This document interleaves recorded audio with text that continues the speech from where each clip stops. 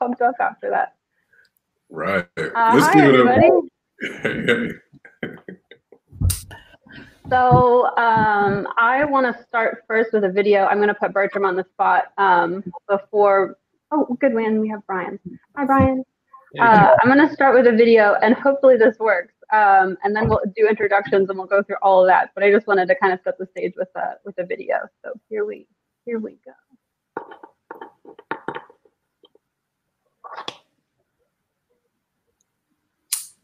Can everybody see this? Oh, there we go.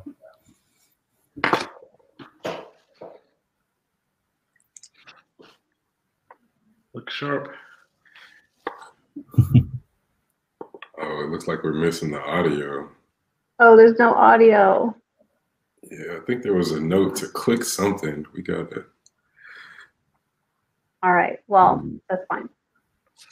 So, or, or- or um, you can let it play, and I can just do the voiceover live. that would be so cool. Really? Will you do it? no, no, that was a joke.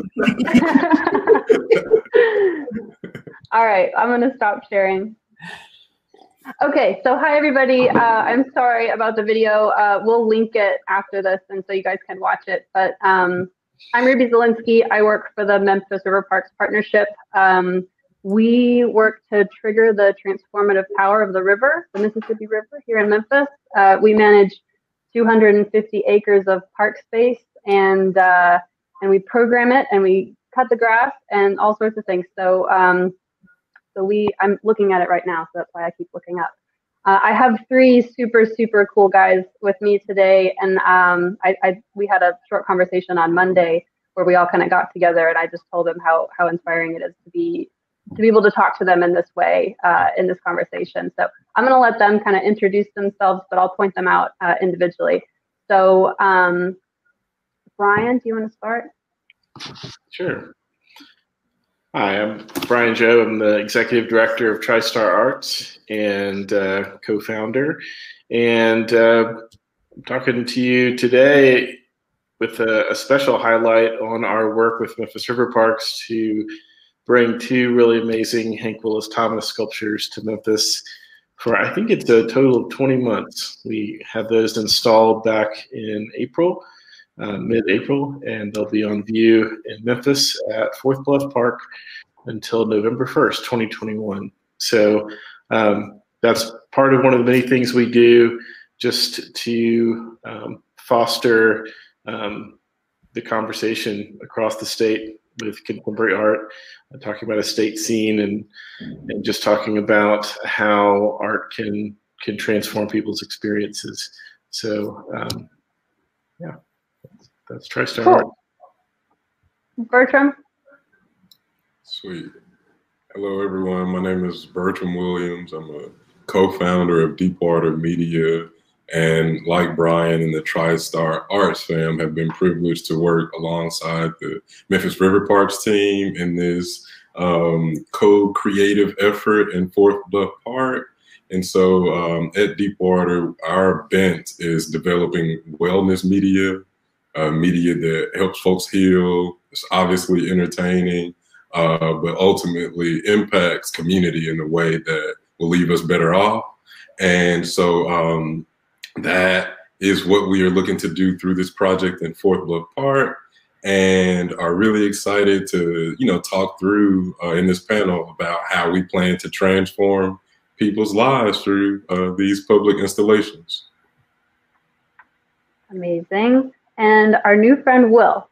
Hi, Hey, everybody. Um, I'm Will Sylvester. Um, I'm an artist and uh, principal at Create to Devastate, which is a, a company founded to help artists uh, create works, uh, public um, and otherwise. Um, uh, I'm I'm here because I I've worked with Hank for many years, um, uh, creating his public artworks and helping him build uh, the many works that you've seen. Um, and the bench, also one of the benches in uh, Fourth Bluff, is actually named after my grandmother and my partner's grandmother as well. So it's just uh, thank you all for having me here. And it's amazing to be here. Appreciate it. Thanks, guys. Uh, I'm I'm super excited to be able to talk to you today. So, um, so this conversation is really around public art and uh, the transformation of spaces and how public art can influence those spaces.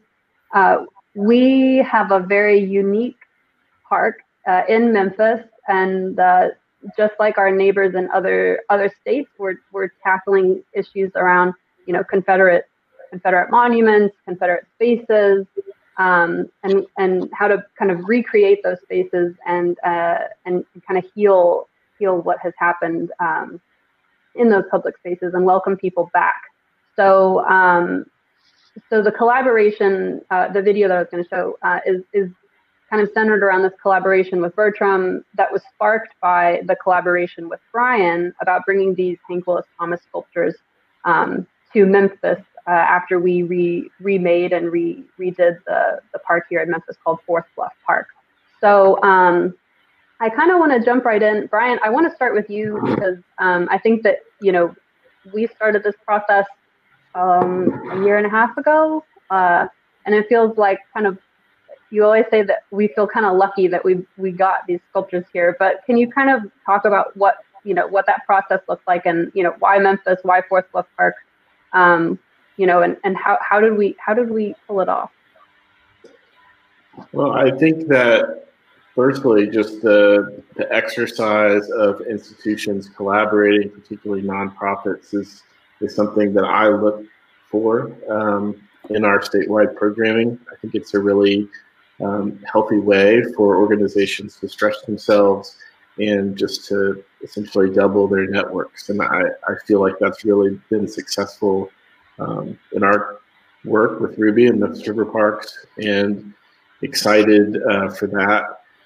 With any public art uh, installation, there's a whole host of logistics that need to be covered, and so yeah, I, I think that we started talking about this in spring, maybe April or May of, of 2019, um, and so it was pretty much a year leading up to the installation but really good conversations that I think would pave the way for future collaborations um, with us or, or, with anyone else that you guys end up working with. So I think that just the exercise of, of those logistics and the mutual desire to kind of stretch and, and double our organizational impact has been really positive.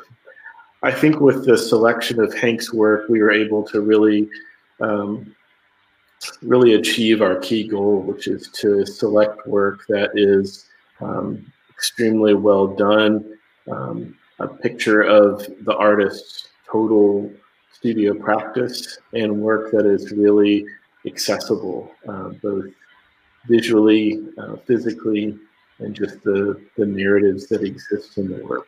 So um, Hank is someone who's uh, a leader uh, in the arts world and beyond. Um, he's uh, an activist and just someone who, in my conversations with him, has has inspired me in uh, personally, just in, in, what I do. So I think that um, the the short answer is um, lots of months of planning, but fun, fun planning, and uh, just an artist who's been a delight to work with.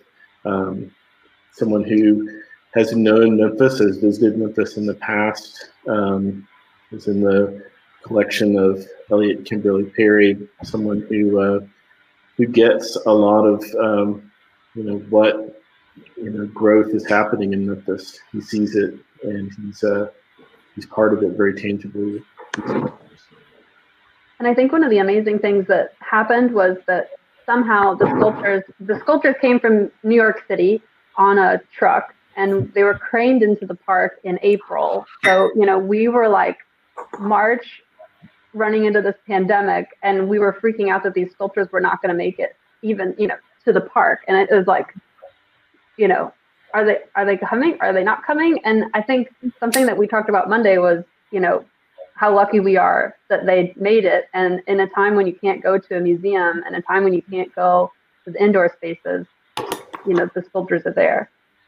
Yeah, I think just the, the accessibility is something that's really a big deal. Um, I think that we're still figuring out how to engage safely with indoor spaces. I mean, certainly just fewer people and, and smart health practices. But I think that accessibility physically, um, you know, there, there's no open and closed times in the same way as museums uh, and galleries. And I think that it's just a, a way to expand the range of um, how to find art in Memphis and beyond, and the range of um, how art can be experienced. And so I think it's been really special to have these. Um, and yeah, it really came down to the wire. I think they're put up on the truck in upstate New York, which is like an even longer distance. And, and they had to come through the city and they had to get through because I think that um, 18 wheeler traffic was suspended for a while there coming out of the city in the spring. So I think we might have just made it. So I, I got the video and I'm told that if I put it in my browser, I can play it. And I really want to play it before Bertram goes because I think it really sets the stage for what he has to talk about. And I also feel like we keep saying sculpture and you guys are probably thinking like, what do these things look like? So um, I'd like to show this. Let's see if I can do this. Share, share, Chrome. All right, share audio. Got it. Let me know if you can hear it. Are reclaiming Fourth Bluff Park as real. This is Can we hear something? Yeah. Can you turn it up? servants and theater guides, dreamers and healers, and those in need of healing. Are we doing this?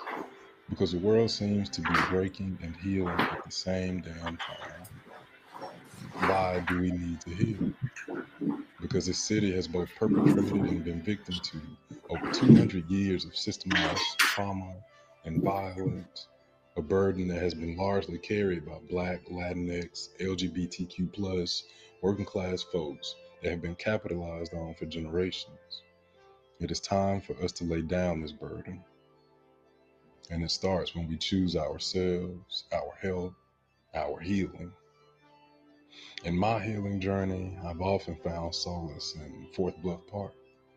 I'm elated at the idea of curating a space to help folks like me find the peace I found. We at Deepwater Media will be designing and installing a soundscape comprised of the many voices of Mother Nature and all her children. We want you to come and listen, meditate, pray, move, and connect with the people who will help heal the heart of Memphis. Pull up.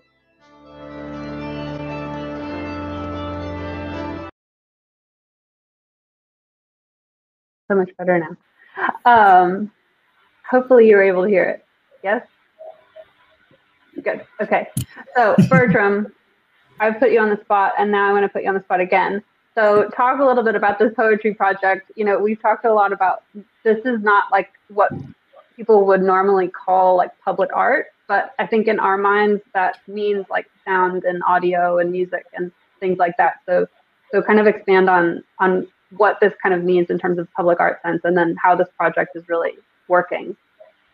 Sure thing. I first have to say that I'm so embarrassed having shown that in front of such consummate artists, especially a documentary filmmaker like Will. And so it's like I'm knowing that he's like, yo, the audio, you know, making all of these critiques. But at any rate, at any rate, um, this uh, funny enough, talking to Will, uh, I came to this realization that the collaboratives uh, between our team and Memphis River Parks to create experiences that they are, in my opinion, public art, right? Being able to uh, show and perform and bring folks together uh, to a space. Uh, serve, I, I, think it fits the the definition, uh, but also um, I have learned over the years that music in the public space has a really unique power to kind of help folks tap into and speak through that universal language that is music.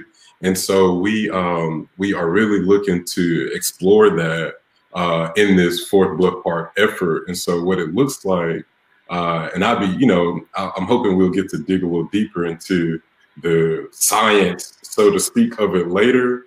But the uh, broad stroke of it is that in addition or in complement to these uh, beautiful pieces uh, sent to us from the Hank Willis Thomas and team, um, we are looking to create like a wraparound or second layer of experience for park goers.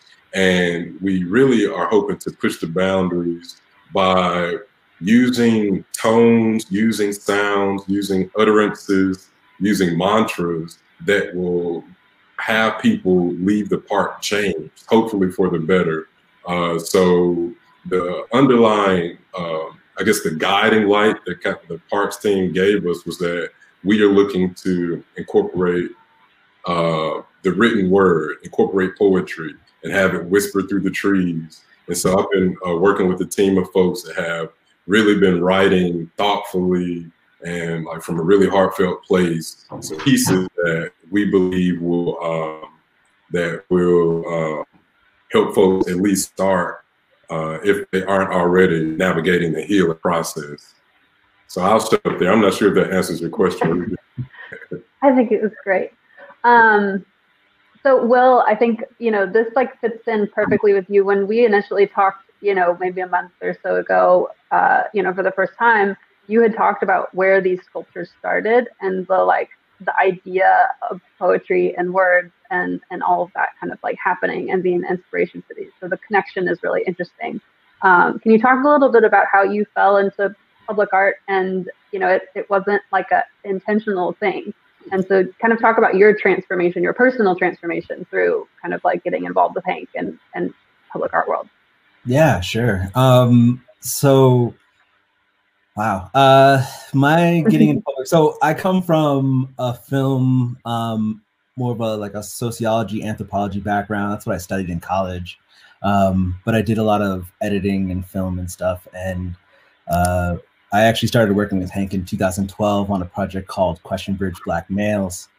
Um, and that project was about connecting black men to other black men around the United States. Um, and we would go around and have these questions and have them answer the questions. And then we did this exhibition and installation work. Um, but shortly after, um, almost immediately after, um, Hank invited me to join up with uh, a group of artists and ethnographers called the Cause Collective. Um, the the Cause Collective uh, would create public artworks that um, would invite um, the the public and the audience, typically what we've done a lot of is we've worked with um, communities as we've traveled with our project called the Truth Booth and asking people to uh, give uh, up to two minutes of what their what the truth means to them, starting with the statement "the truth is." Um, we've also done a project at the Birmingham Airport where we looked at the history and uh, the the like contemporary history um, you know, people every day of Birmingham and Alabama as a whole, and invited them to, you know, be in front of the camera and add to the installation that is, uh, I think, on an indefinite installation um, at the Birmingham airport. Um, so, you know, that's how me and Hank really got started. And as far as the benches, the benches really stemmed from the Truth Project. Um, it started from I would say I think it's 22 line poem. I always get this mixed up because there's probably a lot more lines, but we've whittled it down to about 22 lines. Um, and all the lines start with the truth is like the truth is I love you, the truth is I see you, the truth is I know you, um, and so on.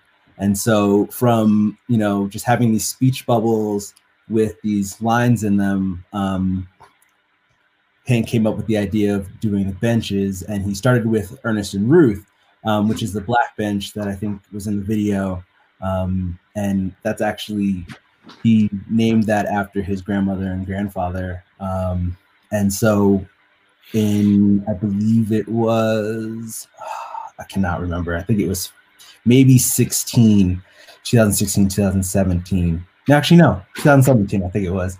Um, we uh, we decided to expand on the benches and do more speech bubbles. Um, one is like a square speech bubble. The other one is a cloud, like a thought bubble. And the blue one that you saw in the video is like the yell, the pow bubble, as we like to call it.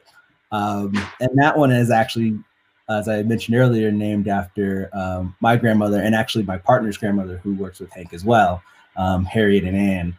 Um, and what's really interesting for both of us um, and that speech bubble is that we had made it, we had built it, it hadn't gone to exhibition yet. Um, and then unfortunately, both of our grandmothers passed away within about two days of each other. Um, and it was uh, something that was like a bit trying for the both of us. But when, like, maybe a week or so later, we were exhibiting the, we opened the exhibition for the the benches and we got to just sit down in the benches and it was very much like being in their presence again um, that it was just a really powerful kind of movement and something that we get to carry with us everywhere um, actually we were just talking about we're doing a road trip um, on a i'm currently in wyoming uh, a little bit out there uh, i live in new york and so um, we actually just got a car and we're gonna drive back, but I think we actually might pass through Memphis um, and just sit with the bench the bench for a little bit and you know be with our grandmothers just another time. And it's so cool that we get to do that and get to be in public and you know where goes, our grandmothers go as well. I love that. Please come to Memphis. We would love to have you. we'll give you a big tour. It'll be great. Um, and so I kind of want to dig into a little bit of this. Um, Bertram kind of alluded to it, but uh, I want to dig in into the kind of theories that you guys have about about public art and about art and these spaces um, specifically. And and Brian, I really love what you said on Monday about being like in the work. Can you kind of describe that that phrase and what that means to you about being kind of in in the work? Yeah, it comes from a video clip I saw back when I was in college at UT. Um, it was the original Art 21 clip of Martin Puryear in his studio from the early 2000s. And he is talking about one of his pieces and then stops and, and just says, But I think the meaning is in the work. And I, I think there's something about that exchange, that sort of um, fluidity of the artist putting themselves and their intent and their message uh, into the, the visual physicality of the work and having that mis- message go forward as a visual and physical communication and, and also to be received by uh, viewers and the audience that is is so amazing to me. And, and really, when I heard that, I, I, realized that the bar had been set. Um, not only is Martin Puryear's work a very high bar, he's one of the, you know, the living legends of, um, the art world, um, but also just that very succinct way of explaining when something works. And so I think that's a message for artists but I also think it's a really great message for viewers. And the message is to trust your instincts. When you go into a space with art, indoor or outdoor, trust that your eye and your feet are moving you into a visual conversation that is supposed to happen, that is about you, and it's not about a right or wrong or how much um, or how few reference points you have coming into it. Um, you know, that's that's the meeting point where the artist Puryear in this instance has put uh, his own being into the sculpture for this uh, this communication, this effort at communication. And what art does in the 21st century is it asks the viewer to put themselves into the experience and it affirms that experience. And these two sculptures, these benches by Hank, are are really great at um, offering that opportunity to the public, saying, "Come to me with um, with your identity, with your experiences, and and also receive this work."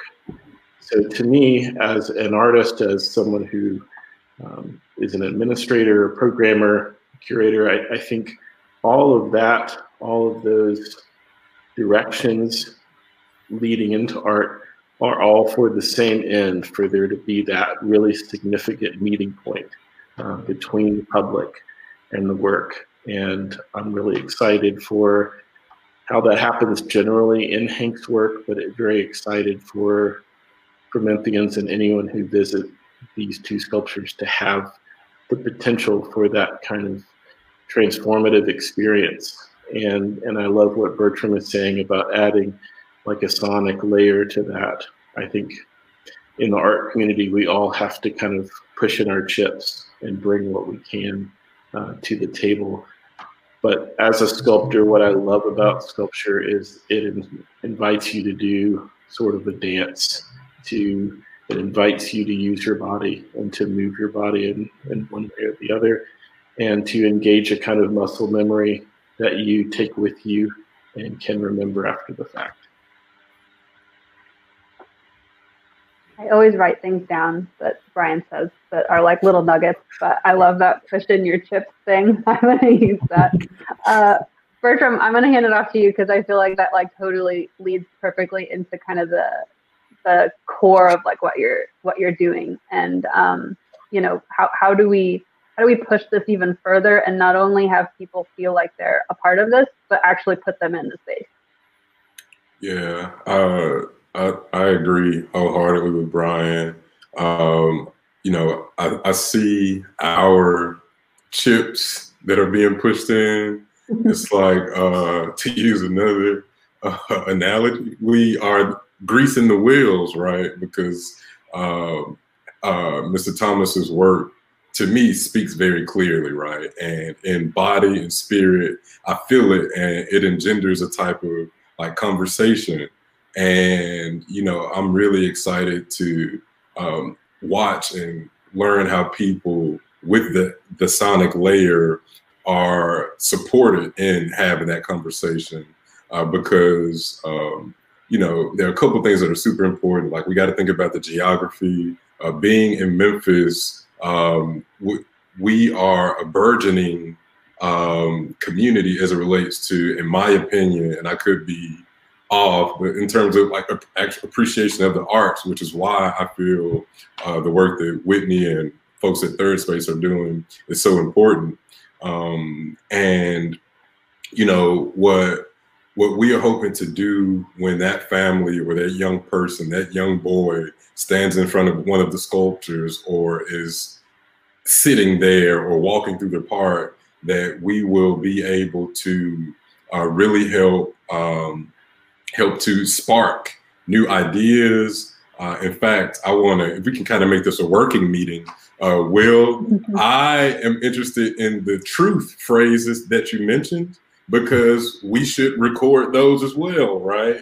And incorporate those into uh, into the piece. And so, uh, um, you know, I, I'd also say that um, we have a chance through this effort because there are so many layers, because we have this perfect marriage of this really important public space, this really uh, important, these important works, important partners in terms of TriStar and Will, uh, that we are able to leverage all of that so as to tease out more voices too.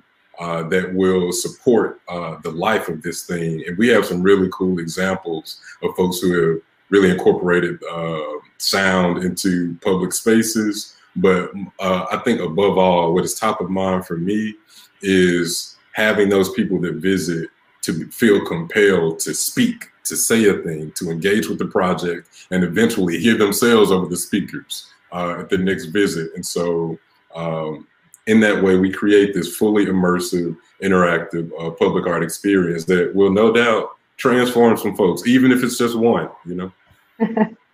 I think it's going to be more than one, Bertram. yeah, I mean, I'm one. It's already transforming me. You know what I mean? yeah. Um, so I want to I want to call on Will again um, because I think that one of the things that you know we as artists have to do is continue to grow and change and evolve with every project that we put out, with every chip that we push. So can you talk a little bit about that kind of evolution and you know watching Hank evolve, you know, from these pieces, watching your work evolve, you know, and as you move, you know, from New York to Wyoming and back. Um, but talk a little bit about that kind of like that evolution of, of work and art. Well, first, uh, Bertram, I will send you the poem. Um, you read it. I want. I would love to hear you read that for sure. Um, as far as like evolution goes, well, you know, it's it's interesting. I think because you know, for every work that we make as artists, you know, well, one thing is for me, every work I make is like never finished is kind of one of the things that I always say. And I always have to have someone else tell me when to stop. And I think Hank is very much the same way. Um, working with him for almost 10 years um, and being in the studio and seeing how, you know, you we make a work and, you know, maybe put out one version of it. Um, and then maybe a few years later revisit that, whether it be materials or subject matter, um, it was always, you know, time to revisit something that we did in the past, maybe a few years ago, maybe a few months ago. Um, and we would always do that. So, in fact, if you look at Hank's entire body of work, which really starts with photography and sort of makes its way um, using just photo, like photo paper, to different materials to print on, to then the idea he has this thing um, called punctum sculptures where it's taking uh, photographs and then transforming them into three-dimensional um, images um, as sculptures. And so that directly connects to you know photography. Um, and then it's sculpture and then from sculpture to you know oh speech bubbles truth booth let's make speech bubble benches. Let's let's make this, you know, um, a sculpture now. So it's it's always evolving. Um, and in particular, like the like I was saying with the the truth, it started with a poem.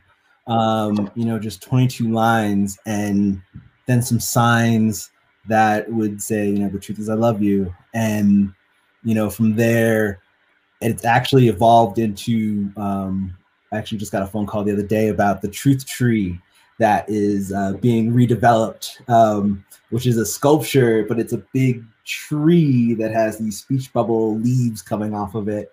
Um, and in in in that process that, you know, if I'm maybe done with one thing for now, but it could be more later, that nothing is ever really finished.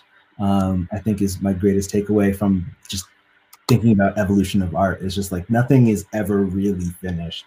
I think we can always keep building on it and that might just be some deeper thoughts of just life in general that I might have always. But yeah, is that we're just I always so. Yeah, I think it's great. And I, I kind of am curious also about this, like this somewhat strange move to Wyoming and, you know, the culture shock of what that was and like what that meant for you and what you've done to kind of change that. Uh, so yeah, so um, my partner at the well, let me back up. So uh, my partner's father has cancer, had cancer, has cancer. It'll never go away. It's one of those weird things. Um, but he scheduled his bone marrow transplant in the like the first week of March, um, and then oh no, you know, pandemic. Um, so uh, my partner basically, I don't, for lack of a better term, trapped out here, but I think it was a welcomed uh, trapping, if you will, of just being like, oh, you know, we can't travel so much anymore. Um, I guess I'll just stay out here. And so she was out here, and then after a while, I was like, I'm coming. um, and I'd been out here once before, um, and it's a very small town. I think there's 450 people. We're about an hour and a half, maybe two hours away from the nearest city. Um, actually, it might be a little bit longer now because we actually have a wildfire about 15 minutes away from us. So it's blocking off a couple of the roads. Um, don't worry, it, blows the other way, so it's not coming anywhere near us. Um, but you know, came out here and you know, the obviousness of being the only person of color probably in this town at the moment um, was a massive like, oh, okay, but in reality, it it was really like, oh, here's a new person in town. Um, here's someone new and they live over there because it's real small so you know where everybody lives um, which is one of the wildest things for me. But um, we've always had this idea of um, creating artwork in wyoming. Um, we've actually been able to over the years network with some people um, laramie who do a lot of work um, and you know, we really wanted to do something in this town. Um, so my partner created a, a mural um, that I've been so uh, so excited and so blessed to be able to work on um, with her and along with our really good friend. Uh, her name is Helen. Our friend is Sam, um, and we've been able to uh, in the last couple weeks paint this mural that you know, we we thought we knew it was going to be something that was it's 40 foot wide wall, um, 22 feet tall, and we knew it was going to be something that was going to be different for this community. Um, they've never had a mural that big, um, let alone you know anything that like really captivating. They've had a couple of signs and you know people would paint stuff a little bit, but nothing really in that kind of way and you know, as we were painting it, people would come by, stop by, say hi, and be like, "What are you doing?" You know, like we're painting a mural, and they're like, "That's cool," and then kind of like wander off. But as it developed and people got to see more and more of what it is, it actually says uh, "Greetings from Wyoming," which is a very simple kind of like postcard theme uh, mural. But one of the things we realized is that it's right off of a road that is the road in from Colorado. Uh, so it's the one of the first intersections, major like intersections you see this big mural that says "Greetings from Wyoming," welcoming you into this place, into this town, um, into this county. And you know, as we are, we're actually just about to seal it up um, in a couple of days, but um, we've actually had people sort of turn off now and pull over to the side of the road and uh, we're getting emails and phone calls from around the state of people saying, "Hey, I heard about that mural you you did. That's so great. You know, we're gonna come and see it." And so now it, it's transformed just a singular wall into a destination. And I think this like ties back to the conversation that we're having about public art and transforming a place and you know people and you know inviting people into a space that you know they might have not been able to you know feel like they were you know had a welcoming sign for. And i think what's great about you know bertram's project and you know conversation with hanks is that you have this soundscape and this listening space in this park which i think is amazing. And then you have a place to sit down and then listen and engage so you, you not only are engaging with the sculpture itself just by like seeing it, but you get to sit down and now you have a soundscape around you to listen and invites you to really take in all of the work and all of the park and all of the beauty that is around you. So So, um, I and you put the mural on Instagram, and I was like, oh, it's it's beautiful. Um, it is like so. It's like what you know. We all hate this word now, but like it's so Instagrammable. So um, I feel like it's gonna catch on really well. Um, but I want to go back to Brian. Uh, we've got like ten more minutes, so I don't I don't. oh, wow. 10. Um, I know it goes by so fast, but I want to go back to Brian because Brian, when you when we talked on Monday, you kind of were ending our conversation a little bit about um, you know as public art as signage, which I thought was really interesting, and public art as um, as kind of a mirror. And can you can you talk a little bit about that and what that means? Yeah, I think that as a form of visual communication, any public art is going to function as some kind of signage. It'll it'll be directing firstly your gaze to identify it in the landscape as, as something that stands out in some way. Um, the color palette, the shape, um, sort of spatial orientation, the way that it's installed at Fourth Bluff along the trails makes it easy to have a sight line for it.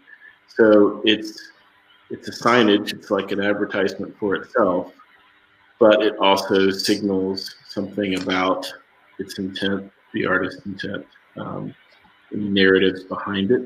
And I think that in this case, it's an invitation to see uh, more of Hank's work once you learn who the artist is. Um, I also think that art can be a mirror, and I think that one of the great things about these sculptures and, and Hank's work at large is it's a very wide open mirror that asks, um, invites people to see themselves in the work, to see themselves um, as active participants. Firstly, in that form of art engagement, but also as a further implication um, as participants in the world, as people who are alive and able. You know, that's in my conversations with him. I feel like I can, I can really speak to that intent. He wants the art to be a transformative experience in itself, but not to stop there. To to use it as a springboard to go out um, more aware of yourself, more aware of your body, your mind, uh, your capability. And so um, I think great art functions as both signage and mirror.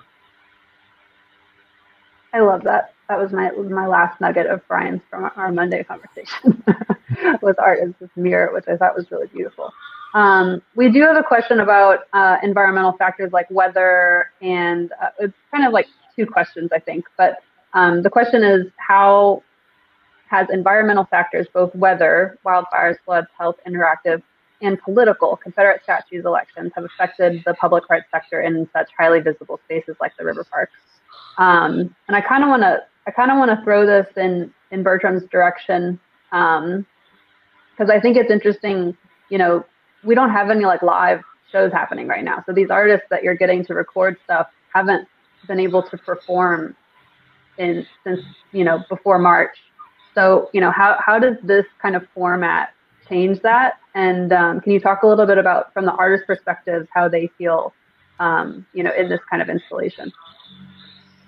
Uh, sure. I think we um yeah, we are working with folks, both you know, writers and performers, who, and I think all creatives might be able to relate to the like the impact or the drag that this season has kind of been potentially uh, on being able to get stuff out uh, and communicate.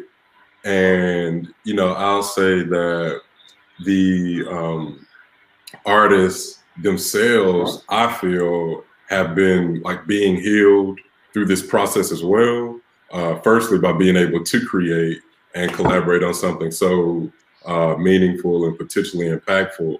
But personally, and like I joked around earlier, like for me, the work that we are doing is helping to like ground me uh, and inspire me to uh, continue to create and to continue to um, try to um, um, yeah have the impact that we are set to have as artists. And I don't know, Ruby, do you want me to chime in on I'm specifically interested in that political piece of that uh, question. Is that cool? I um, I love this opportunity. I feel like it's so unique in the conversation that this visible space that is Fourth Bluff Park has been having with the surrounding community, and to really help like co-create with this amazing team this like full circle moment by um, providing this offering for people who I said in the video have dealt with so much trauma for so long, and to be able to, again, in concert with Hank and team, to be able to really start to undo a lot of the bullshit, you know, and really um, kind of hopefully embolden people to um, to uh, to rise up in spite of um, this, especially this somewhat um, trauma-inducing political climate that we are navigating. And so I think that the timing of this is so important. Uh, being able to share in outdoor space uh, in a way that is safe, uh, and being able to curate experiences that are also safe but super intentional, I feel like makes this thing feel almost divinely inspired. Y- Yes, just yes. Um, we have not very much time left. I just wanted to see if anybody had any last minute thoughts, and then I was going to kind of give just a wrap up on how people can kind of stay connected. But do you guys have any last thoughts or anything that I didn't ask that you wanted to cover?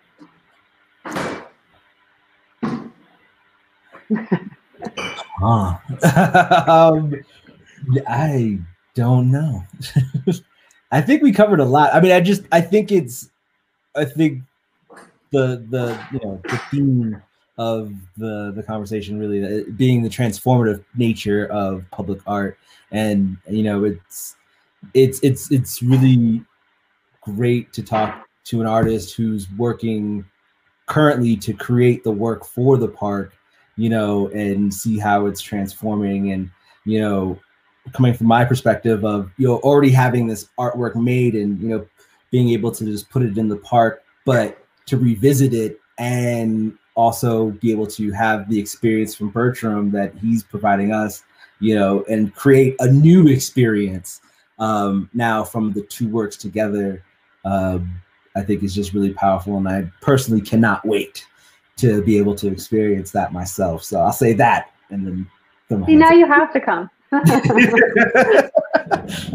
You know Yeah. what, Ru- Ruby? I wanted to chime in, and this is piggybacking off of Will's point. I, I feel that, and uh, Will and I kind of talked about this uh, around the importance of like artists slash activists maintaining a wellness practice, and that, of course, relates to like eh, you know everyday folks, right? And I've been kind of fashioning this idea around like how public art and public health kind of marry. Like they serve each other in really what in really important ways. And thinking through that lens like artists like we are providing like some affordable health care for people and so we're really radical you know what I'm That's amazing. Yes, yes. saying? So, Yeah. Brian, I just is there anything else? Yeah, I, I love that, Bertram. And I just want to say one of the great things about having sculptures out there for 20 months is that there are opportunities to continue to engage them. Uh, the project that Bertram is discussing is just sort of like an, an amazing way to do that. Um, I've also been in conversation for many months now with uh, at Collage Dance Collective about there being uh, an engagement with dancers uh, and sculptures. Um, it may initially take a video component, um, and you know, all all these nonprofits are just trying to like take it one week at a time. But I, I feel like that is on the way in the duration of the sculptures being out there. So that's a thing to stay tuned for. Um, but I think we'll also be able to find other touch points for the Memphis community to make their time with the sculpture special. And I hope they um, are sold to a Memphis collector and get to stay in the city. I'm doing what I can to spread the word about that opportunity eh, among my channels. So we'll see what happens. Yeah, I don't know how they're ever going to leave the park now that we're doing this poetry thing. So uh, we're going to have to find a way to make that happen. Um, so I just want to wrap up by saying thank you so much, guys, for sitting in and having this conversation with me today. Um, if you guys want to follow along with the project, just go to our website, memphisriverparks.org, uh, um, and you can just see kind of like updates as we go. The, the installation should be by the end of the month, so just be looking out for um, that launch date. But we're really excited to get all the speakers and subwoofers, which I'm most excited about, into the park. So that's that's that's all we've got. Thank you guys.